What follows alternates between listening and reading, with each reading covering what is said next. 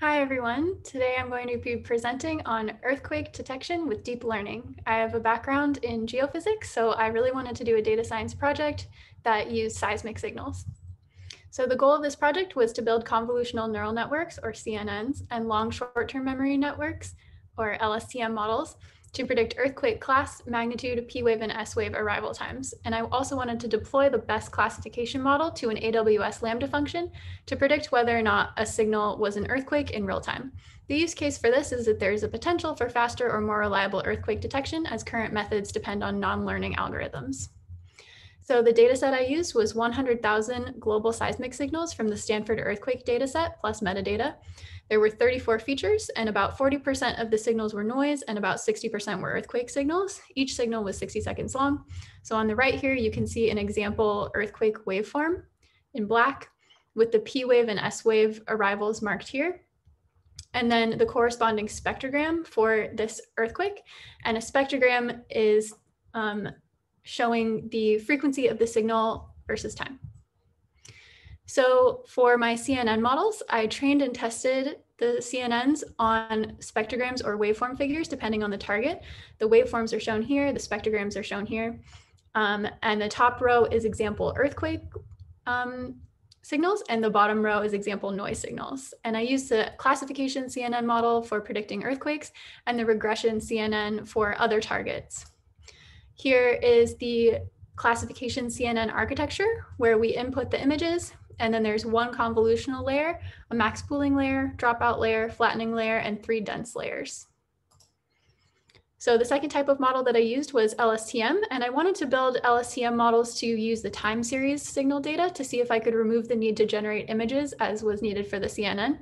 So the models were trained and tested on seismic envelopes uh, instead of the raw signal data. So here is a raw earthquake waveform shown here.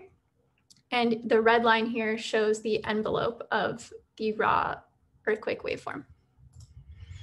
So the classifications LSTM architecture, I input the seismic envelopes, then there was a simple RNN layer, an LSTM layer, dropout layer, another LSTM layer, and two dense layers. So for the results, here is a comparison of the confusion matrices for the CNN versus the LSTM. They both had good accuracy, precision, and recall, but the CNN was a little better with 98 to 99% accuracy, precision, and recall versus about 97%. So for the S wave arrival time prediction, here are some more results. Um, this is graphs of the predicted value versus the observed value for the CNN and for the LSTM.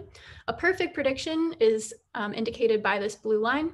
And you can see that the mean squared error value for the CNN is um, quite a bit lower than the mean squared error value for the LSTM. So the CNN was the better model here.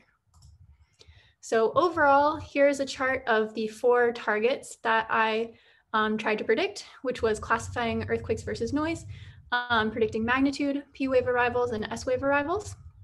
The baseline for these is shown here. And then the best CNN model results are shown here and the best LSTM model results are shown here. And between the CNN and the LSTM, the CNN beat the LSTM in every category, including pre-processing time. It was actually faster to generate the images than it was to do the pre-processing for the LSTM. So the CNN was the best model.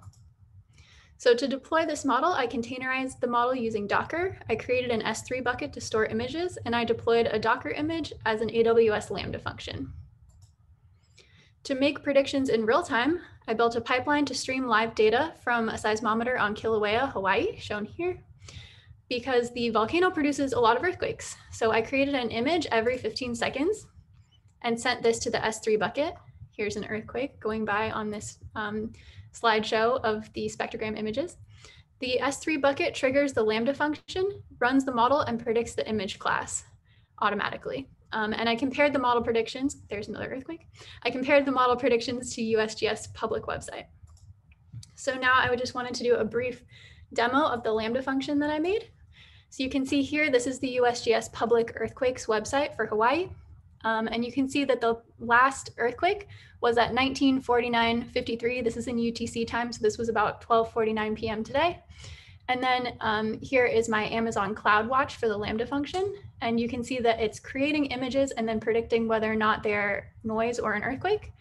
Um, and you can see if I scroll down to this time, about 1950, 1949, it does actually predict an earthquake.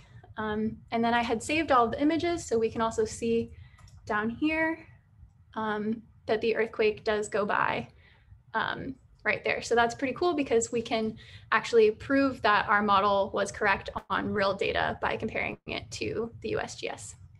Um, so that's the end of my presentation. Thank you for taking the time to watch. And if you would like to see more about this work or contact me, my LinkedIn is in the description of this video. Thank you.